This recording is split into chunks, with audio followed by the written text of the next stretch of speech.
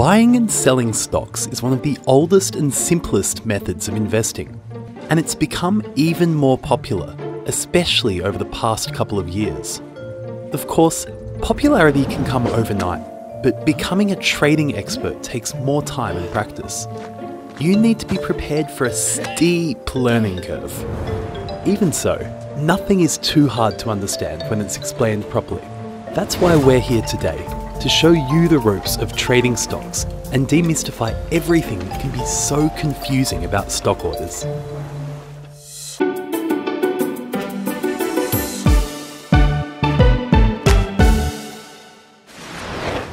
Let's start with the basics. What are stocks and how can you benefit from trading them? A stock represents ownership of a fraction of a publicly traded company. To make their investment worthwhile, shareholders hope that the company will perform well, increasing the demand for its stocks and thus raising the stock's price. But first things first, to start trading stocks, you must go through a licensed brokerage, and this is exactly where stock orders come into the picture. You can think of stock orders as instructions for your trading broker. You use them to let your broker know what stocks to buy or sell for you, when to do it, and at what price. There are three basic types of orders that we'll explain in this video market orders, limit orders, and stop orders. Let's start with the simplest option market orders.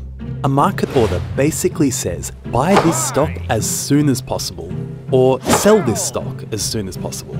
We say as soon as possible instead of right now because between the moment you click the buy or sell button and the moment when the trade actually executes, there's a tiny time frame within which a stock's value may change.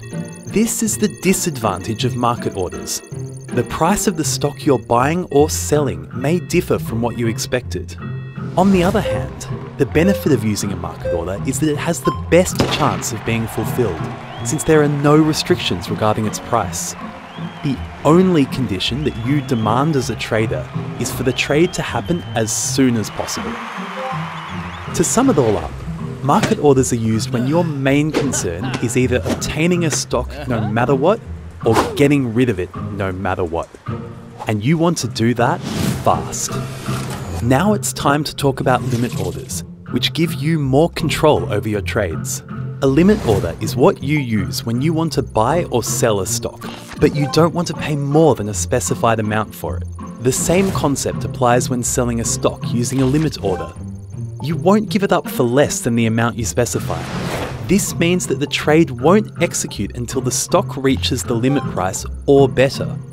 Of course, better when trading stocks means a lower price when buying and a higher price when selling. Basically, limit orders allow you to buy low and sell high.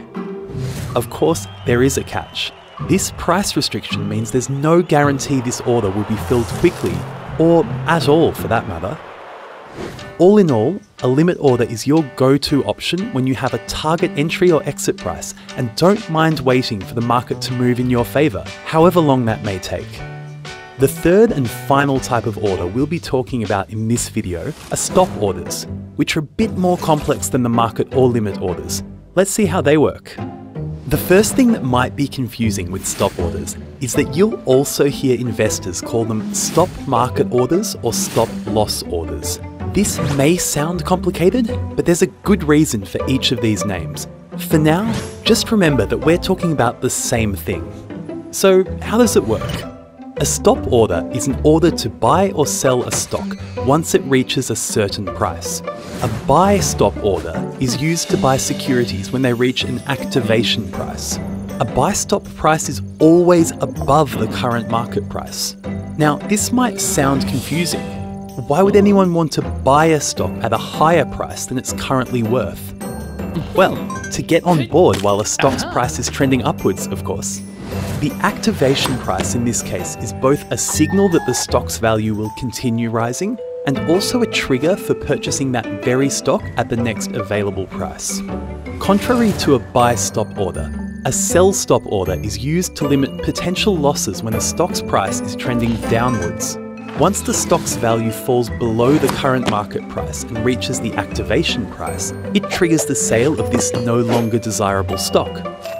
You're getting out as soon as possible, before a stock falls too low. This is where the name stop loss order starts to make a bit more sense. So basically, a buy stop order is used to enter a position when a stock is trending upwards, and a sell stop order is used to exit a position when the stock is trending downwards. In layman's terms, the first approach is designed to earn you money, while the second one is supposed to prevent you from losing money. Sounds pretty neat, but as always, there is a catch. Remember how we said that this type of order is sometimes also called a stop market order? And remember how market orders are set to be executed at the next available price? Yep, the next available price can differ significantly from the activation price. Put simply, stop market orders guarantee the execution, but not the price.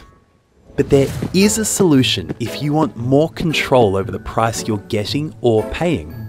It's called a stop limit order. A stop limit order is a variation of a stop order that comes with one extra layer, a limit price. In this case, we have two prices, a stop price and a limit price. After a stock reaches its stop price, it will trigger an order to be filled at the limit price or better.